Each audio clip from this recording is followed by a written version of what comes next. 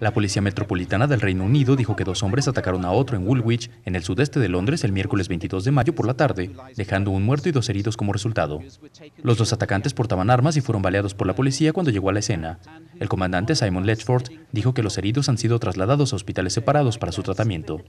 El hombre atacado fue declarado muerto más tarde, con reportes de medios locales diciendo que era un soldado. Sin embargo, el Ministerio de Defensa británico no ha confirmado la información. Fuentes del gobierno británico dijeron que el ataque podría ser relacionado con terroristas, según informes de los medios locales. Letchford informó que a eso de las 14.20 horas fueron llamados por informes de un asalto en John Wilson Street en Woolwich, donde un hombre estaba siendo agredido por otros dos que usaron varias armas en el ataque. Agregó que la policía investigará las circunstancias que resultaron en la muerte del hombre agredido, como es habitual, y también las circunstancias del por qué la policía disparó sus armas. He sido informado por el ministro del Interior acerca de este ataque absolutamente repugnante en Woolwich, en Londres. Es un crimen atroz. Es evidente que estamos buscando con urgencia. La policía está buscando urgentemente los hechos completos sobre este caso, pero hay un fuerte indicio de que es una incidencia terrorista.